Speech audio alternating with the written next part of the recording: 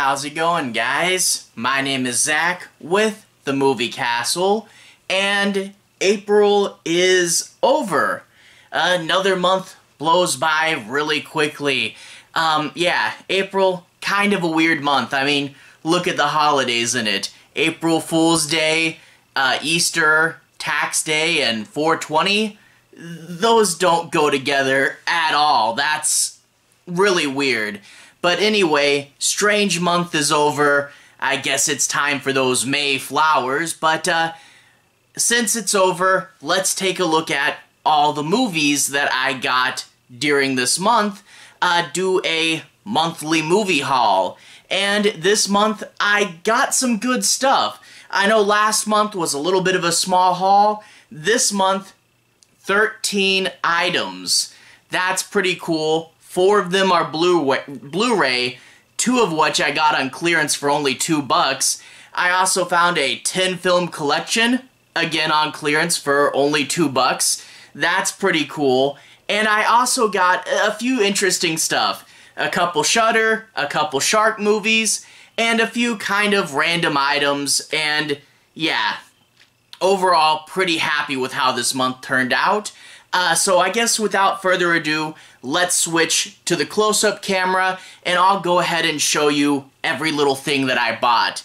Anyway, to the close-up camera. Alright, here we are inside the castle taking a closer look at my movie haul for April 2023. 13 things in here, four Blu-rays, some really cool stuff. And I guess let's begin with something I was really glad finally came out on Blu-ray, and that is Infinity Pool. This is directed by Brandon Cronenberg, David Cronenberg's son. I saw his last movie, Possessor. That was a really good movie definitely, definitely recommend it. Uh, so I wanted to see Infinity Pool. Uh, plus, it's got Mia Goth in as well. Uh, Mia Goth was an X in Pearl. Really great actress. Wanted to see what she did next. However, this wasn't the biggest theatrical screening, and I couldn't really find anyone that wanted to go with me. Uh, so as soon as I saw it on Blu-ray, I snatched it up because I I really been wanting to see this movie. Uh, flip it to the back, and it talks about how there's this guy that commits a crime in a country with really strict laws and he's supposed to be put to death. Uh, but he kind of pays someone under the table uh, to make a clone of him so they can put the clone to death instead.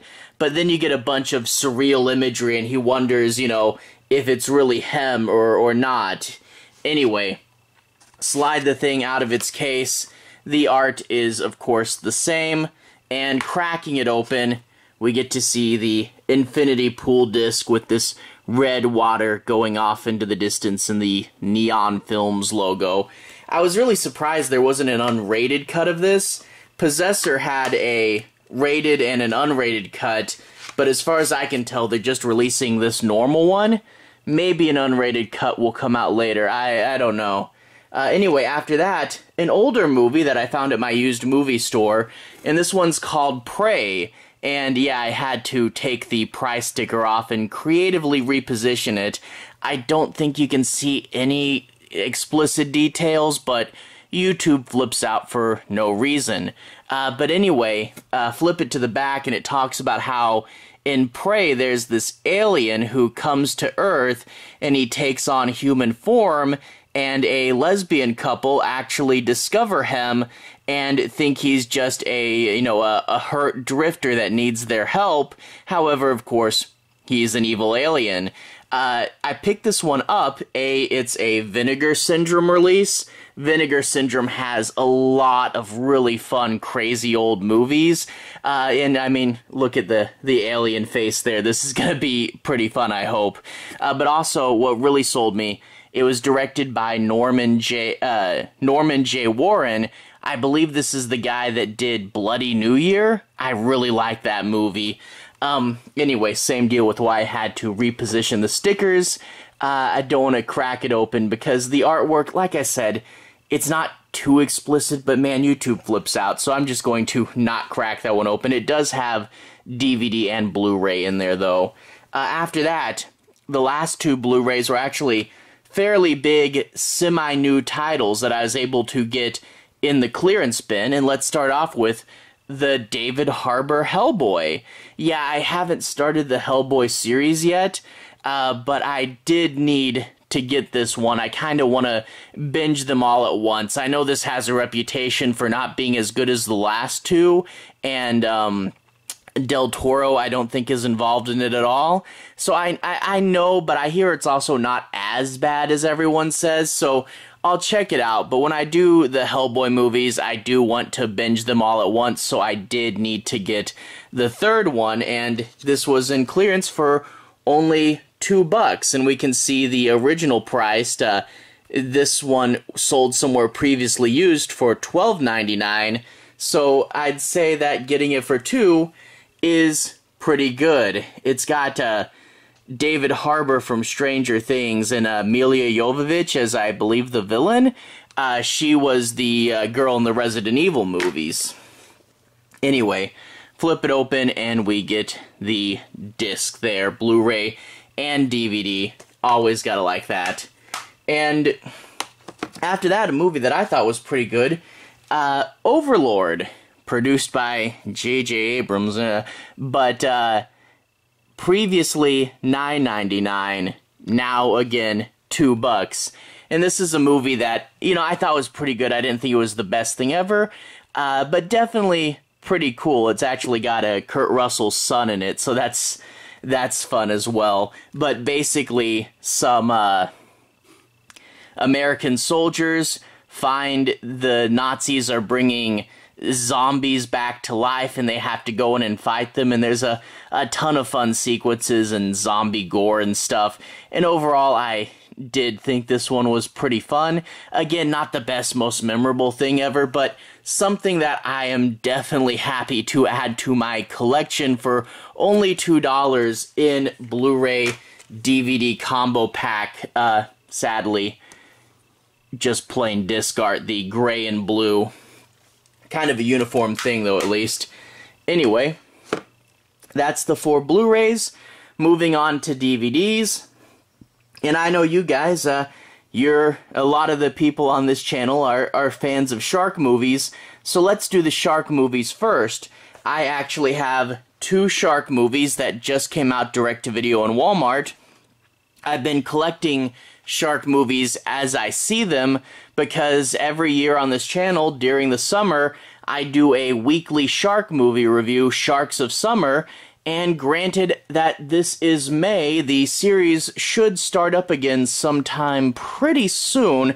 Kinda snuck up on me, but hey, May I, I, guess it's summertime. I should probably get going. Uh, the first one we have is called Swarm, and we can see her with the shark right in front of her. Uh, Joey Lawrence. You can't run. If you can't run, sw. Oh, swam. I thought this said swarm. Oops. Swam. Huh. Anyway, there's the side, and we can see this is a movie from The Asylum. Uh, the Asylum, lots of cheesy shark movies. They're the ones that did Sharknado, Multi-Headed Shark Attack, and Mega Shark. So they have experience with sharks. This one says that it's kind of like Crawl, and which I guess is why it's called Swam. Uh, but the house is getting flooded, and sharks are coming into the flooded house. That's a great concept. That being said, this is the asylum. I'm surprised they have a, a budget to do a concept this big. I'm curious to see how they shoot it. But if it looks like the back, that would be pretty cool. I really did love uh, Crawl, and to see it with a shark, that would be fun. Flooded buildings are cool. Anyway, disc inside, same as the front, and there's the disc. I do like the curved text on the bottom and there's her and the shark again. Anyway, after that we have another shark movie, and this one, kind of like the last one, uh, going a little bit like a different movie. This one's called Breathe, and the plot sounds a little bit similar to 47 Meters Down, but we'll take a look at it pretty soon. Uh, this is from ITN, and it talks about how some divers get trapped underwater with sharks and with a limited amount of oxygen. Honestly, and this is one thing with you know, like I I buy up the shark movies, but if I wasn't a shark movie junkie, I I don't know cuz these shots on the back you know, the, the shots on the back are what you use to sell the movie. That's where you have these crazy splashes and interesting things. And if the shots on the back here aren't that great, I kind of wonder how great the movie is going to be. Like in these actual stills from the movie, you don't see a shark. You you don't even see I, I don't think these are underwater shots either. So I am a little nervous about this one. But anyway, cracking it open again. Disc is the same as the front. Shark coming with wat with uh, blood coming out of its mouth, and there's our little divers there. So not the biggest hype for Breathe. I, I hope it's better than it looks, but um, you know, cool cover. But the back, you man, not a photo of the shark in these these four shots here. That's not good looking. Uh, but anyway, after that, let's go to the Shudder releases. Uh, this month we saw two new Shudder releases, and this one is Scare Package 2 Rad Chad's Revenge. And on the back, it talks about how there's a funeral with a bunch of 80s horror styled surprises in it. And um, to be honest, I haven't seen the first scare package yet. I heard it was really good, and I I did pick it up. So I'm thinking I'm gonna watch these two back to back as a double feature when I get uh, to it. It looks really good. It looks like 80s throwback horror, and when that's done right, it's done really good. Sometimes it's done a little bit in a cheesy way, and I'm not the biggest fan, but if it's done right, it's done right. They stopped putting their little ad in here. They used to have the try Shudder ad. Anyway, that Scare Package 2. Also no slipcase for some reason. The other one is Blood Relatives. And you get these two vampires on the cover here. And it has kind of like the backroads of America feel with a big moon. And it talks about how they roam the streets at night. They're, um, I think they're brothers or something, and they have to to keep on the road, keep moving, so no one knows they're vampires. Uh, a smart vampire comedy with blood and bite. So have to see how funny it is, or how you know dramatic it is living on the road all your life. Cracking it open again. Disc is the same as the front. It sounds interesting. I'll uh, I'll see what's up with that one as well. I really got to stay on top of Shudder. They they put out a couple movies each month, and, and if you don't keep watching them, they can really pile up. Uh, anyway, after that is the uh, sort of unrelated movies, uh, and let's talk about When Evil Calls. This one I already did watch. I don't know, it just looked cool, I was kind of in the mood for it. I picked it up not knowing what it was, and I thought it'd be a knockoff of One Missed Call. Uh, but no, it's actually pretty different. Uh, first of all, this is directed by Johannes Roberts. He's the guy that did Strangers Prey at Night and 47 Meters Down. And this is actually a Be Careful What You Wish For uh, style movie based on a wish going around through a text chain in people's cell phones. So you get a text, you've won a wish, pass it on to someone else. And of course, it's actually pretty comedic and cheesy. Uh, so there's lots of just dumb gags. I have watched this already. It was dumb, cheesy, stupid fun.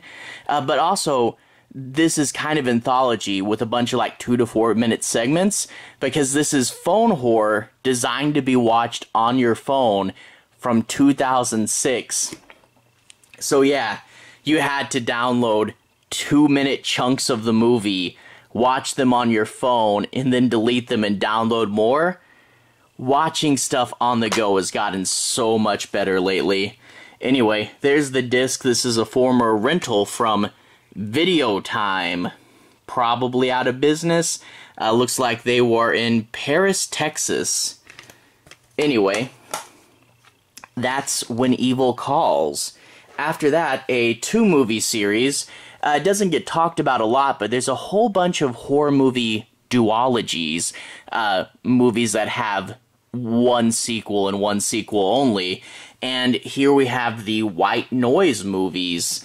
Uh, first, White Noise with Michael Keaton got the nice version with this nice shiny slipcover. And if we flip it to the back, man, like nice foil, man, uh, we talk about how there's this guy, his wife dies, and he gets interested in EVPs, where you can hear ghost on the tape, unexplained voice phenomenon. Uh, and uh, he apparently accidentally cracks the veil into the other world, and ghosts start haunting him. And it appears to have a bunch of bonus features as well. So that's pretty cool, and I'm glad I have both of them in the duology. Uh, crack it open. Disc is obviously this. Uh, inner art is the same as the front, and it's got these stupid little... You know, I've never had a problem with my DVDs just flying open. Really, I, I hate these doors, though. I always go, why isn't it opening? Anyway, there's the disc with all the static and an ad for a bunch of other Universal movies yeah, there's the remake of Cape Fear everyone knows, Red Dragon, which is one of the Hannibal Lecter movies, and then The Watcher. Anyway, uh, let's put that away, and now we're going to take a look at the second film in the duology, and that is White Noise 2 with uh, the first one had Michael Keaton, and this one has Nathan Fillion and Katee Sackhoff, who I actually just saw her in the the Mandalorian. But this is actually why I decided to pick up the series. I quite recently watched Drive Angry, which was a Patrick Lussier movie, and I looked up what else he directed on IMDb, and I saw that he directed White Noise too, so I had to go out and buy both of them.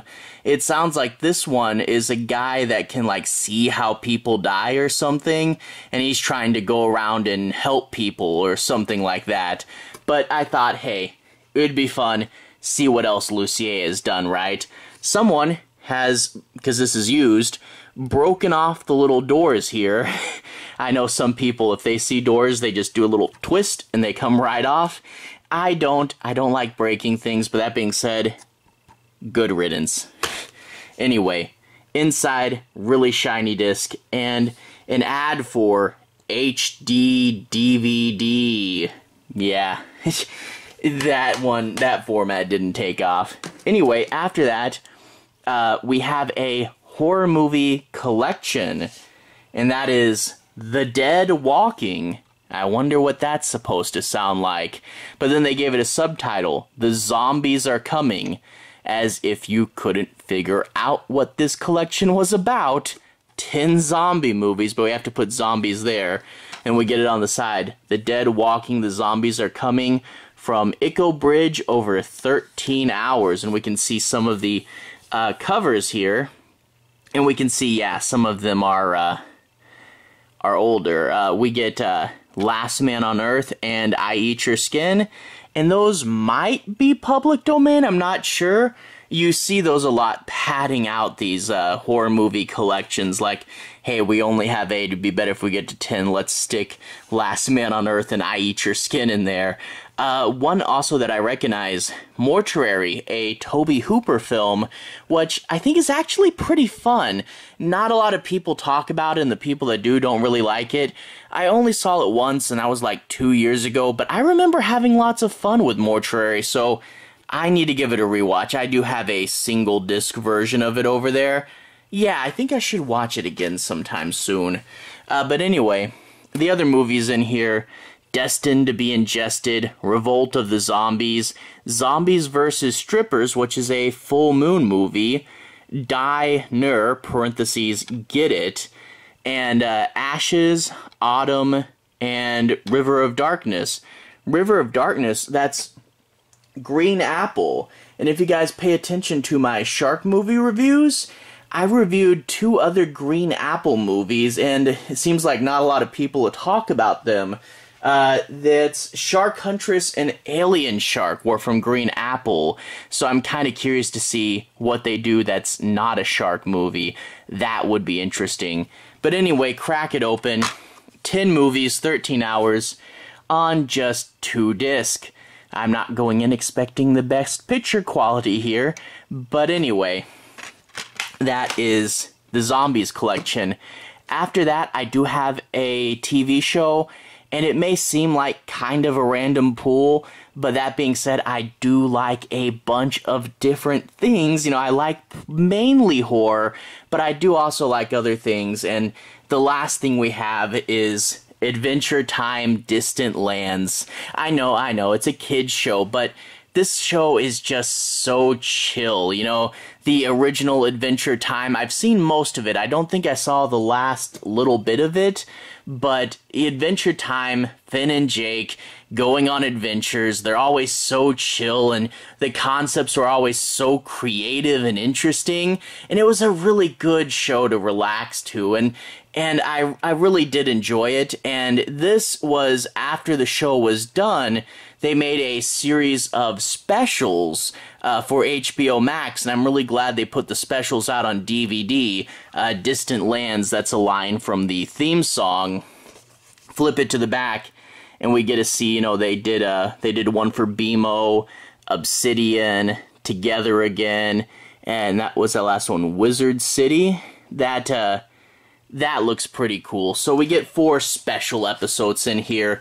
Slide it open and disc is the same as the front in this white case.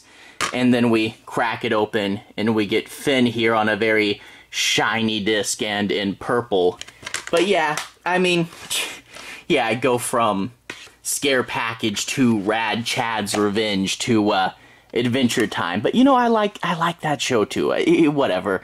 Uh, but anyway, this is our 13 items for Blu-rays, Shark movies, Shudder movies, the White Noise series, uh, When Evil Calls, zombie collection. Lots of fun stuff here. Glad I got all these movies, and I'll definitely be uh, trying to watch them pretty quick, especially Sharks of Summer should start pretty soon. So yeah, I'm just thinking of all these shark movies I, I, I gotta cover because at the end of last year's Sharks of Summer, I was like, I can't believe I didn't do that. I can't believe I didn't do that.